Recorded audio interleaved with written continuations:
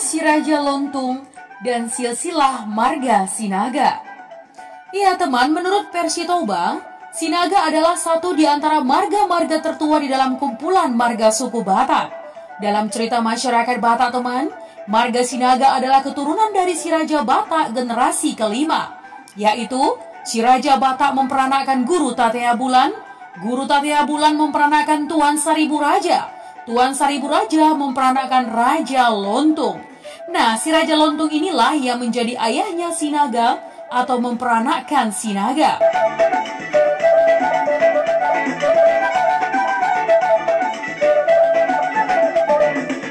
Si Raja Lontung memiliki sembilan anak yang terdiri dari tujuh laki-laki dan dua perempuan.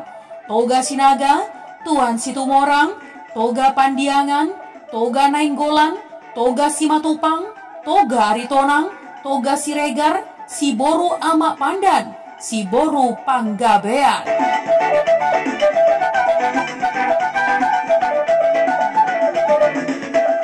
Ya teman, menurut beberapa sumber, keturunan Lontung kebanyakan tinggal di Samosir. Kemudian keturunan Lontung menyebar memenuhi tanah Batak.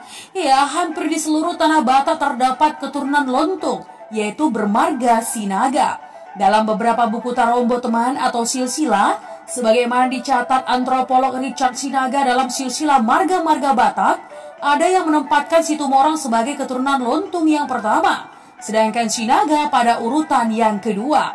Namun teman, menurut cerita orang tua turun-temurun, anak sulung si Raja Lontung adalah Sinaga dan anak kedua Situmorang.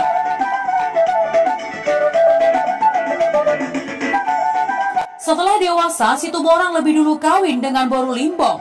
Sementara adik Boru Limbong ini diperistri oleh Sinaga. Ya teman, Sinaga mempunyai tiga orang anak laki-laki. Raja Bonar atau Sinaga Bonar, Raja Ompuratus atau Sinaga Ratus, Raja Hasugian atau Sinaga Uro. Nah teman, masing-masing dari mereka mempunyai tiga anak laki-laki. Raja Bonar yang kemudian disebut Sinaga Bonar memperanakan Raja Pande yang di Tonga, Suhut di Huta. Si Raja Ratus yang kemudian disebut Sinaga Ratus memperanakan Ratus Nagodang, Si Tinggi, Si Ongko. Raja Uruk yang kemudian disebut Sinaga Uruk memperanakan Si Hata Hutan, Barita Raja, Datu Huruk.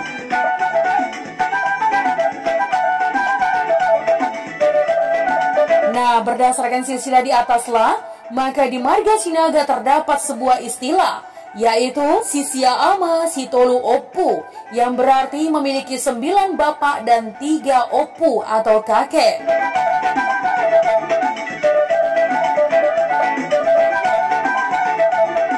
Ya, hingga saat ini keturunan dari Sinaga tetap masih menjadi satu marga, yaitu marga Sinaga. Semua keturunan Sinaga terhimpun menjadi Toga Sinaga, yang menjadi satu dalam ikatan Parsadaan Pomparan Toga Sinaga Dohot Boruna atau PPTSB. Iya teman, persatuan ini berada di tingkat kecamatan, kabupaten, provinsi, bahkan tingkat nasional.